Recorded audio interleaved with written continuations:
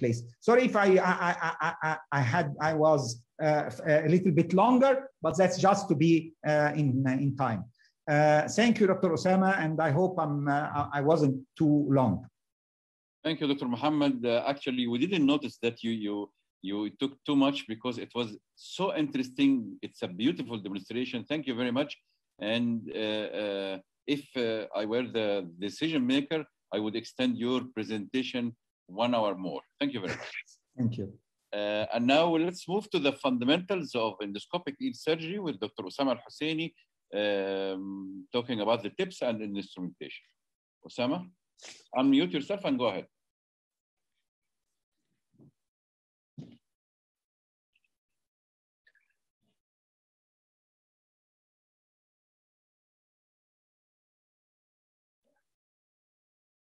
Kareem in the control room. Can we uh, start? Yeah.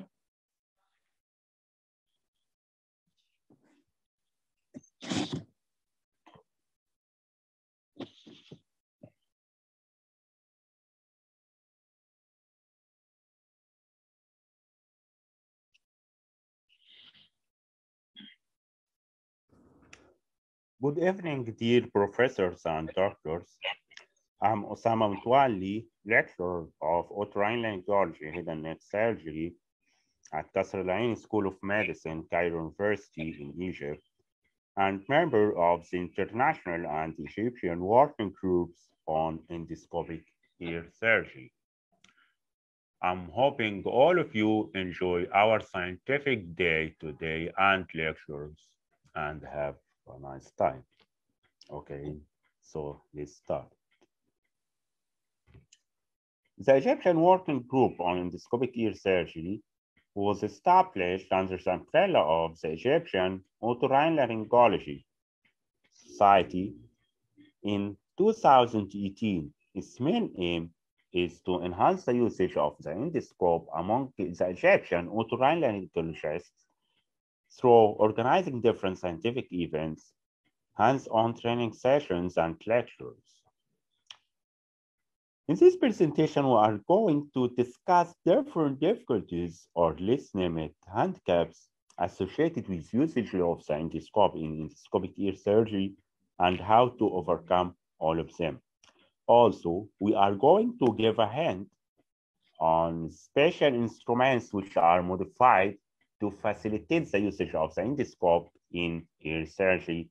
So I'm hoping to enjoy my presentation. I'm sure many of you will be surprised if we said that endoscopic ear surgery is not a recent procedure. Actually started about 40 years ago. Yeah, the usage of the endoscope in, in, in ear surgery started about 40 years ago in simple procedures like ventilation tubes insertion.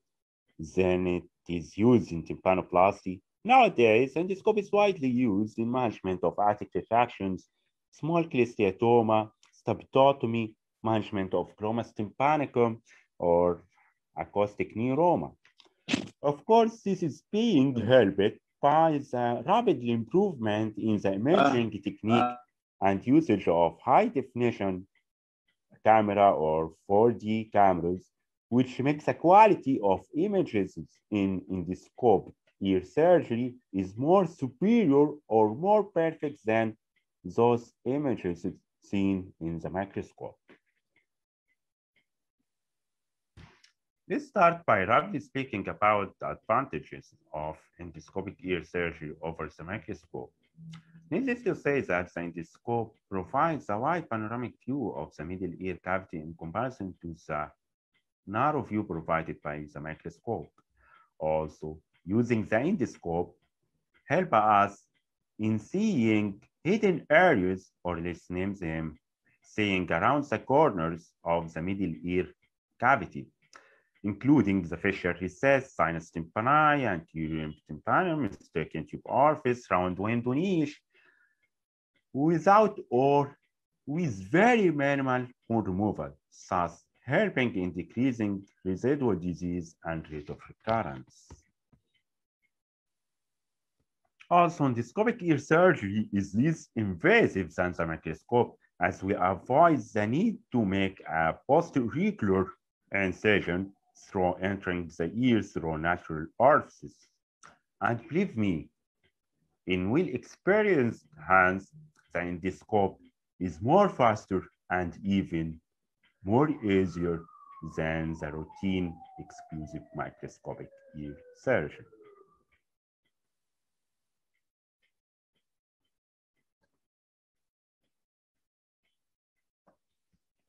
In spite of the many advantages provided by the usage of the endoscopes in ear surgeries, these developing techniques are suspected to have some limitations or let's call it handicaps, which can be summarized in the following points.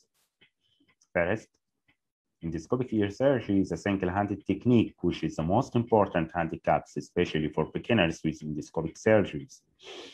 And it means that the surgeon requires one hand to hold the endoscope and the other one to perform surgery, which limits the possibility of bimanual manipulation of tissues, which is possible using the traditional operating microscopes. Trials to overcome such an important handicaps lead to the development of endoscopic holders and special modified instruments specific for endoscopic ear surgery to do post strokes of suction and dissection, and they will be discussed later in the presentation. Also, careful control of hemorrhage during endoscopic ear surgery is very difficult as one hand is holding the scope while the other should do both jobs of dissection and suctioning of the blood.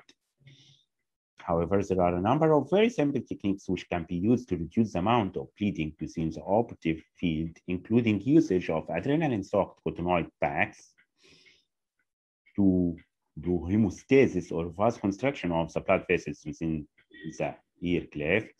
Also, continuous saline irrigation with suction can control bleeding. And in cases of persistent bleeding within the operative field, we can use time, which is often by backing off the ear canal for about five minutes with adrenaline soaked cottonoid and this time to the hemostasis.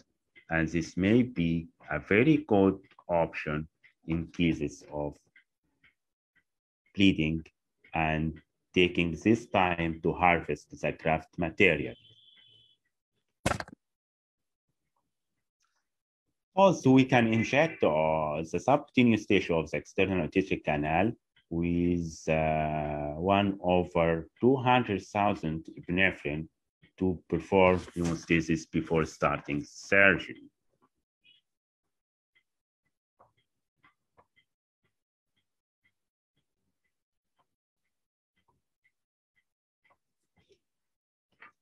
One of the difficulties of endoscopic ear surgery is accidental patient movement during endoscopic ear surgery, which may result in secondary traumatic injury by the tip of the endoscope to the middle ear structure or ossicles.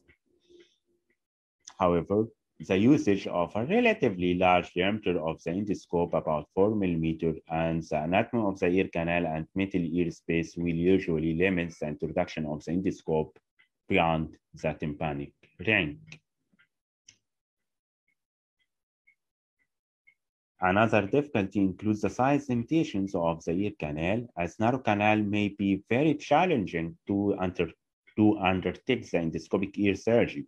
A number of techniques may help, like uh, curettage can be used to enlarge the ear canal for improve the access also, a stitch can be taken in the tragus and another one in the concha to straighten the opening of the external auditory meatus.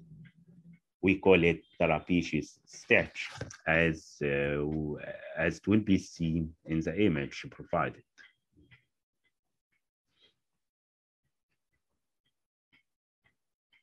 Fogging of the endoscope is quite common for the endoscope to become fogged with condensation this can be explained because of the endoscopy is cold and the moist found in the ear canal causes the tip of the lens to film up. This problem can be solved by keeping the endoscope warm before starting the surgery. The use of high quality and focused solution is important once the surgery is underway. There is some difficulties with specific ear surgeries, as in positioning of prosthesis, the unavailability of both hands, and the lack of deep perception. Assessing the length of prosthesis needed make this task more difficult with the endoscope. Also, in training of the foot plate of Stevens during stapedotomy, the ability to visualize the adequate length of training is difficult. However, those difficulties are neglectable in experience with trained hands. Finally, there is loss of depth perception and binocular vision in endoscopic ear surgery. However, with, exper with the experience, the surgeon usually interact with the tactile and visual information he received during surgery to reconstruct a three-dimensional view of the operative site.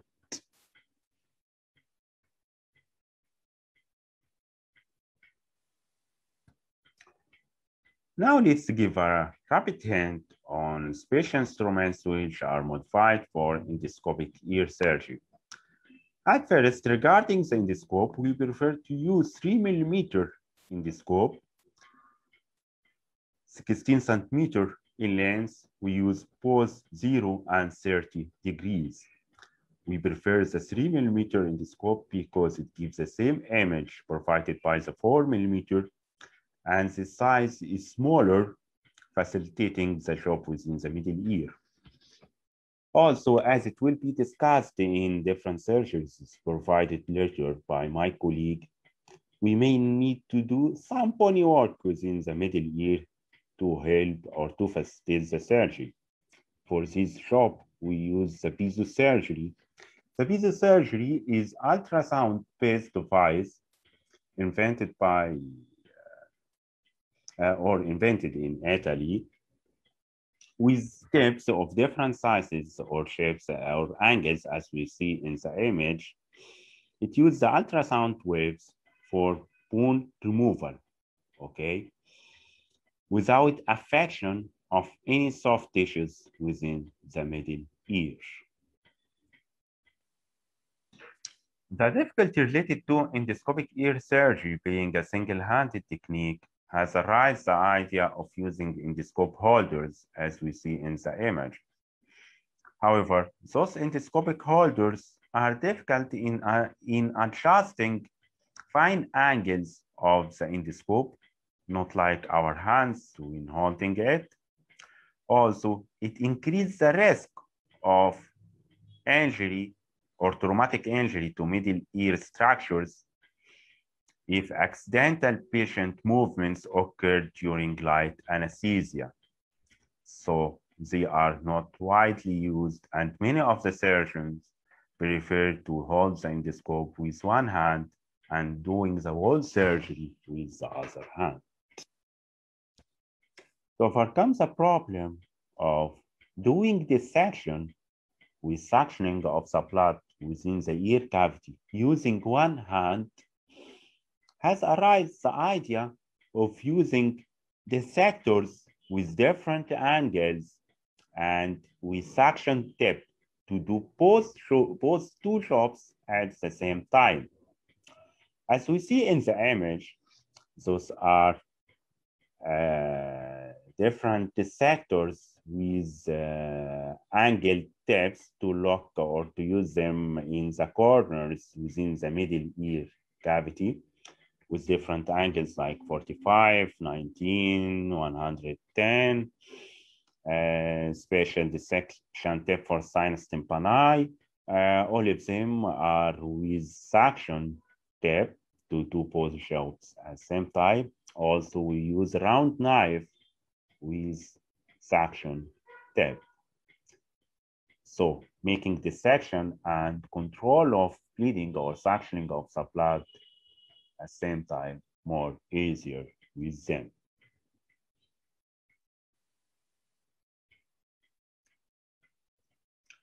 From before, we can say that there is a continuous challenge in learning curve for endoscopic ear surgery as being a single-handed technique. There is a loss of binocular vision in comparison with optic microscope. In addition, the endoscopic ear surgery is proceeded at very narrow space. Dry surgical field is required, but it's difficult to provide suction while containing the dissection at the same time. But actually, believe me, or practically speaking, all of the aforementioned discussed issues are completely neglectable problem with will experience trained hands. So make your choice. And thank you. Thank you, Dr. Osama. Thank you nice so much, uh, presentation. doctors and professors, for your attendance and waiting for any questions. Thank you. Uh, we leave the questions uh, at the end uh, to the end of the session if there are any. And now we will proceed. uh, Okay, at the end of the session. Okay. Okay. Yeah. Yes. Please uh, keep uh, be with us. Okay. Don't leave. Yeah, okay. Okay. Yeah, yeah, I'm, I'm present. Yeah, I'm present here. Okay. Uh, now we'll move to our next speaker, uh, Dr. Ahmed Hisham Galal uh, from Alexandria University, who will be speaking about preoperative imaging in cholesteatoma. Uh, Dr. Ahmed. Di Dr. Sami. Uh, hello, everybody. I have my lecture already uh, recorded with the system, and I will be here for any questions. So uh, I think it's already loaded. If there's any problem, I can start live. Okay.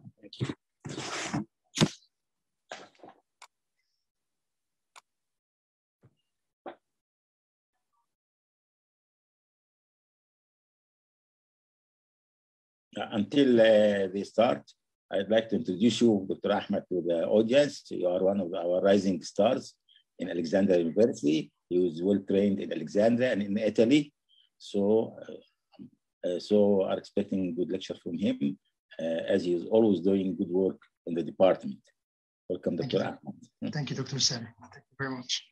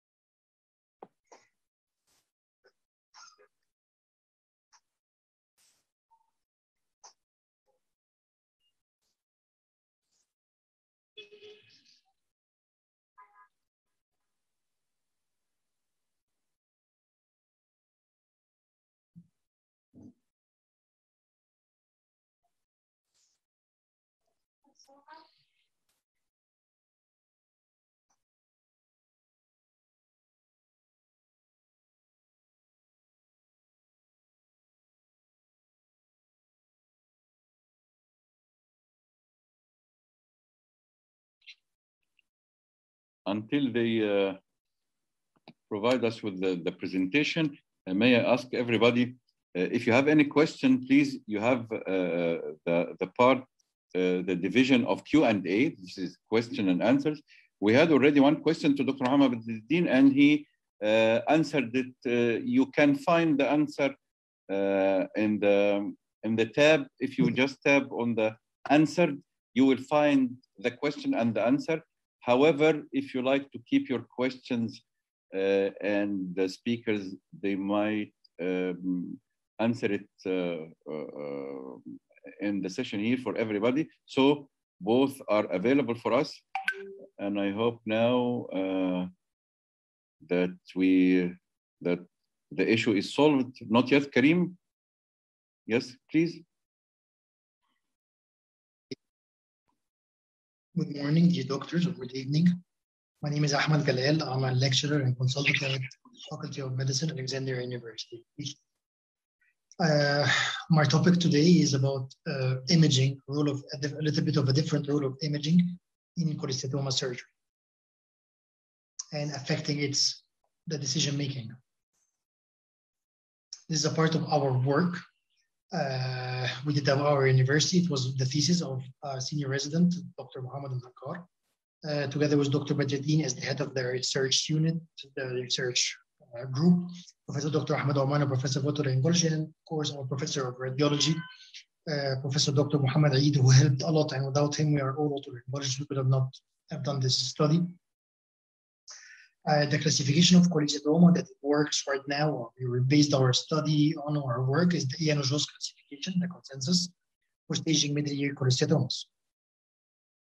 It divides the ear into compartments where the tympanic part,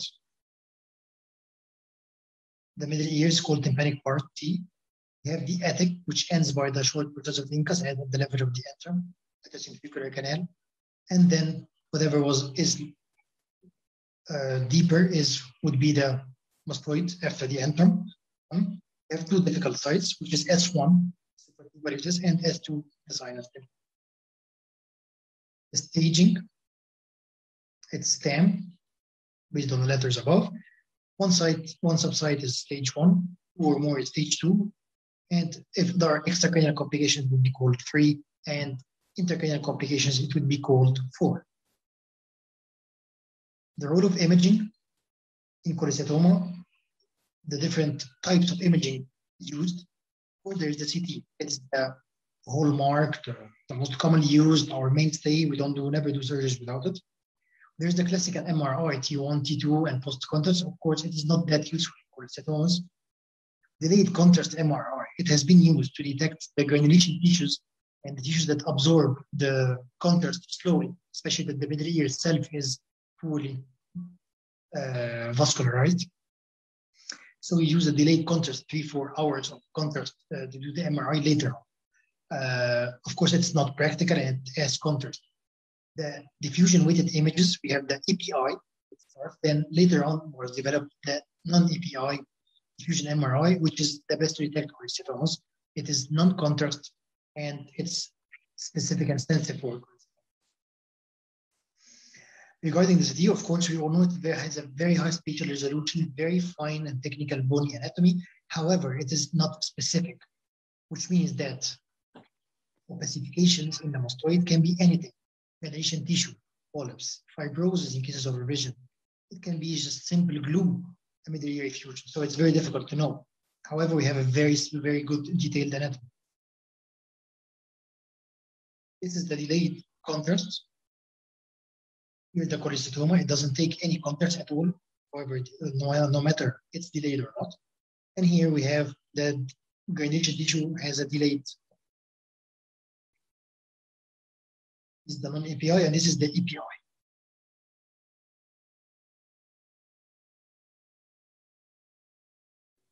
So the non-EPI MRI is better because it can for smaller size cholesteatomas and has lower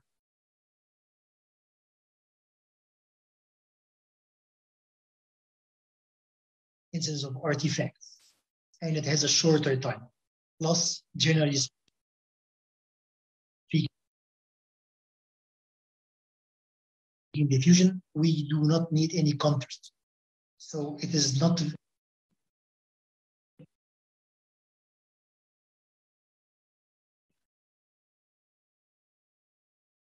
cumbersome to add this investigation.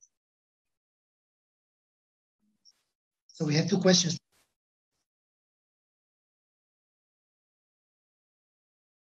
To be answered. Is it a cholesteatoma or not? This is very well answered by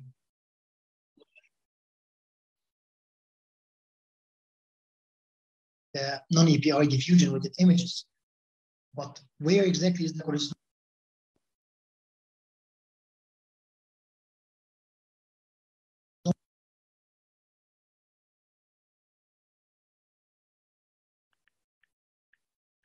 is mainly answered by, by CT.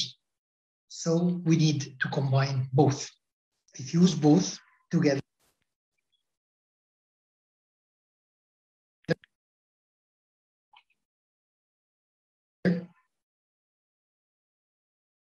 We can obtain like the same idea of the PET CT scan. We can obtain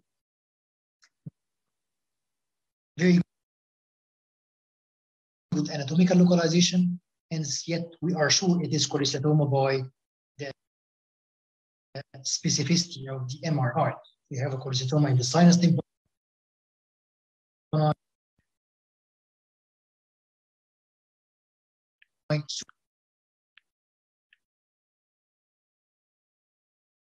Supratuberous cells and the epitympanum, and we can know it for sure and preoperatively.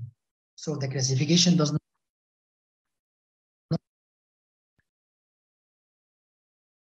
Need to be post-interoperative classification. We can know it beforehand.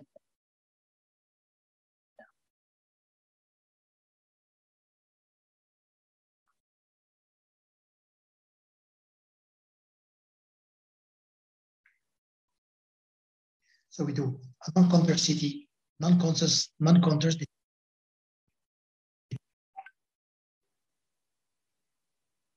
diffusion with images MRI, non-EPI, fuse them together and diffusion by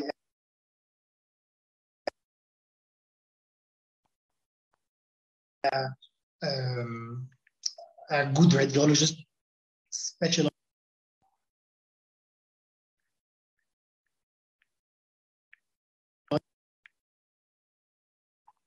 in uh, in otolaryngology, it will not take much time.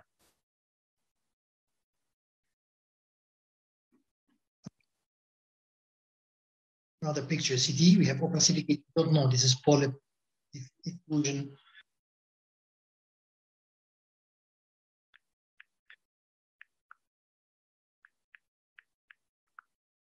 Cholesteatoma, even tumor, he cannot know.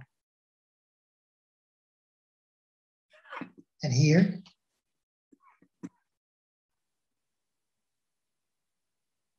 we know there is cholesteatoma now by the diffusion, but only when we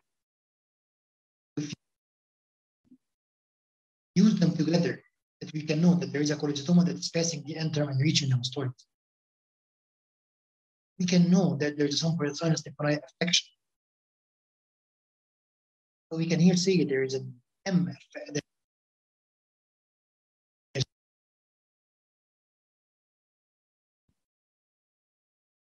There's an T affection for the panic. There's an A for attic. There's an M for mastoid, and there's S two for sinus tympanoid. You can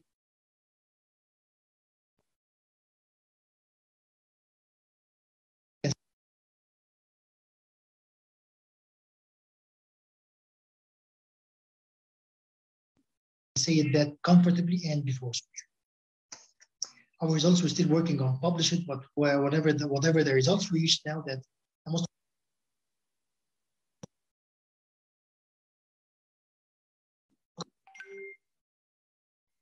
common site for the cholesteatoma affection was the attic followed by mastoid sinus tympani was the least common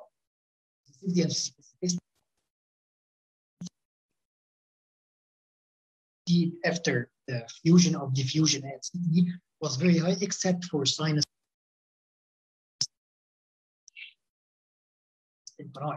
mostly because of the mural lesion where there's only the lining, the perimetrics or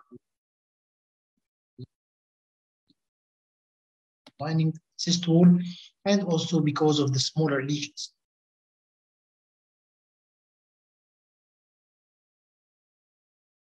Uh, stage two was the most common stage. Sensitivity and specificity for stage was very high cholesteatomas passing the antrum and reaching the mastoid. Okay, that's 70% of our. And this is the most important thing that affects our surgical decision that in these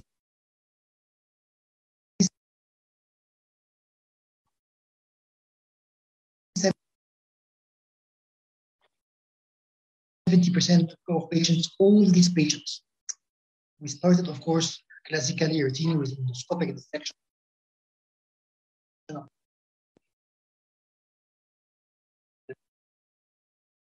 Middle year.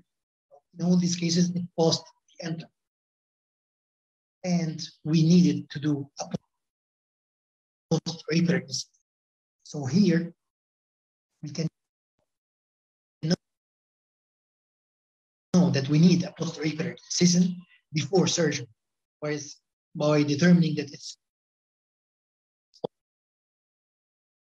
causing the anthem. Example of cases, this is a case where there's an opacity here when you put the, the diffusion, diffusion, when you fuse them together, you know that all, all the, the rest was just fluids and secretions. I knew of course, cholesteatoma was here, just anterior to the oscars. This is a totally endoscopic, not passing the antrum, mostly is going to be endoscopic.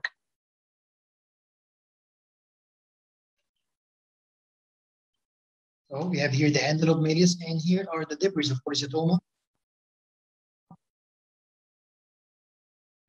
going anterior to the oscars, as we expected beforehand from the CT. Here's the cholesteatoma going anterior to the oscars. And the rest of the ear was free. And the rest of the recesses were free. In another case,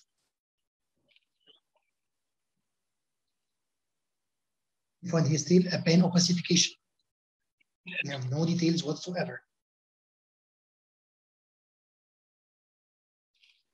On the type of the lesion. Here we know there is a cholesteatoma.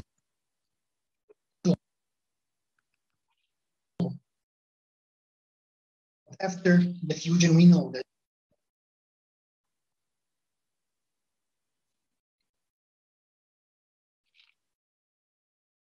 there's a sinus tympani affection and there's a supratubal affection.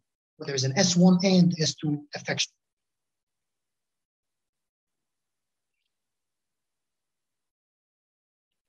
To the tympanomeatal flap for this right ear, we find the cholesteatoma here going to the retrotympanometer.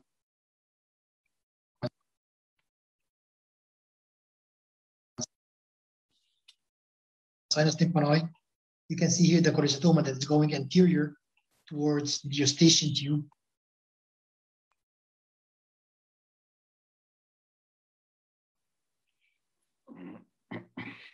Anterior to the malleus, exactly as we saw on the MRI. Here's the malleus, here's the strip of cholesteatoma anterior to it.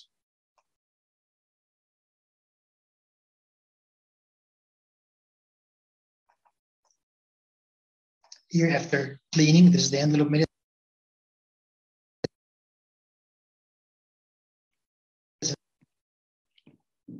This is the middle here round window, and this is the malleus. Last case.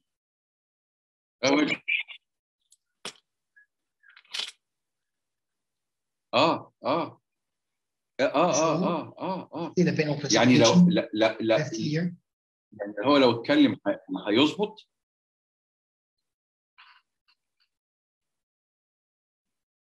آه يعني طيب طيب طب واللي بعد كده you can see a cholecystoma that is passing بص. بص. لو لو اللي بعد لو اللي Expect بعديه على طول. مسجله ناخد الأسئلة والأجوبة آه، آه، لغايه ما هو يظبط. إحنا كده اوريدي excision. بقى أحمد ده يخش في في 5 مينتس يقول الكونكلوجن بتاع بتاعه. يلا. لا لا أنت توكل على الله على طول. ما هو اتقدم قبل كده قدمه. سامي قدمه. Elevated the tympanometer. لا لا لا لا لا flap, لا a summary of the presentation because of technical errors. Here's the medius, here's the facial nerve, here's the foot plate, here's the attic, well cleaned, but still we suspect, and we know that there's cholesteatoma here in the antrum. Similarity of the mastoid start. Here's the lateral semicircular canal, here's the antrum. So we do the posterior incision and we did not regret it. And we know now, after we opened that the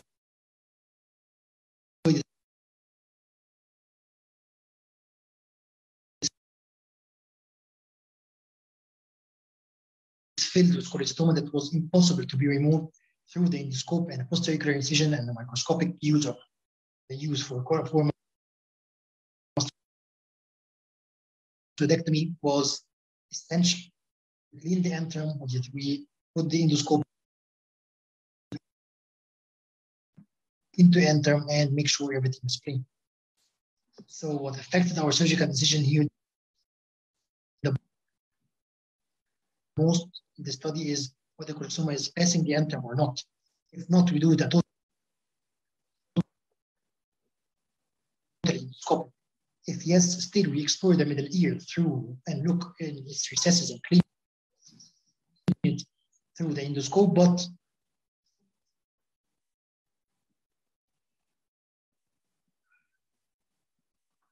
So we are stopped for the technical error and uh, Dr. Ahmed Galal will give us a brief of the presentation in uh, four or five minutes.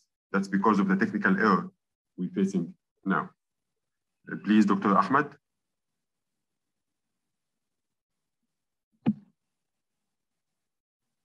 Dr. Ahmed Galal.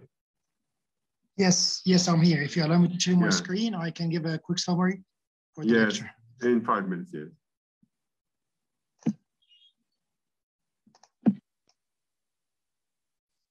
Okay. Is my screen visible now? Yes, yes, Ahmed, go ahead. Yeah. Okay. Okay, so after the acknowledgements, we said that we are depending on the Ian classification for the cholesteatoma surgery, the STAM, and it's it's it's self-explanatory. It's already it's already there. The whole idea of our work is to be able to localize this not intraoperatively, not post-operatively, but beforehand, before surgery. That was the whole idea of the work we're doing. So uh, we know, of course, we need the CT, MRI, delayed MRI need contrast, and they're not very practical. We have the EPI and MRI, diffusion weighted images, and then the non-EPI, which has a little bit of advantages over the other one. Uh, um, over the non-EPI that has a it can define identify smaller cholesteatomas and uh, has less artifacts. So to conclude, this is the best in MRI that we use non-EPI diffusion. Little time, no need for contact, and CT. So the CT, we have the bony anatomy, we have the bony details, but we have non-specific opacifications. It can be anything, fluid secretions or polyps, uh, but it can do the wear. But is it cholesteatoma or not? This can be done by the non-EPI MRI. So the idea, which is, of course, to be done before, we're not the first to do it, but the, the, the base of our work is to fuse them together. So we can make sure that there is a cholesteatoma, and with this bony anatomy of the CT, we can know for sure where it is. So we have, for example, here, cholesteatoma in the sinus tympani, anterior epitympanum, and supratubular recess, we can define it before surgery, and we can, we can give an accurate classification before we start our surgery. So we do the CT non-contrast, EPI uh, diffusion MRI, and our radiologist does the fusion between them. Here we have a non-specific opacity in the CT. We have no details. Here we can see, we can know that there's this cholesteatoma, but you cannot know exactly where. And with the CT here, with the combination here, we have the supratubal and the, attic, and we know that it's and has an hourglass configuration and goes into the mastoid cavity. Here we have a small spot in the sinus tympani. We know sinus tympani is active. So results, the most common site was the epic, uh, followed by the mastoid. Sinus tympani was not that common. Uh, the sensitivity and specificity was very high, except for sinus tympani. We, uh, the explanation for this is mostly because it has neural cholesteatomas with only wall, there's no cavity, with no matrix to be seen. Uh, and of course, also because it's a small lesion. Lesions uh, less than three millimeters are difficult to uh, to detect. And the staging, of course, was very good. The most important thing that affected decision making of surgery actually was if is the cholesteatoma passing the antrum or not. Because if the cholesteatoma passing the antrum, the vesicular canal, it means that it passes the abilities or the limits of the endoscopic surgery, and we have to do a post-auricular incision. We have to do the mastoidectomy. We have to um, to do a microscopic dissection. And we have to do a surgical incision. We cannot do it whole transcanal. We'll skip the examples for the sake of time.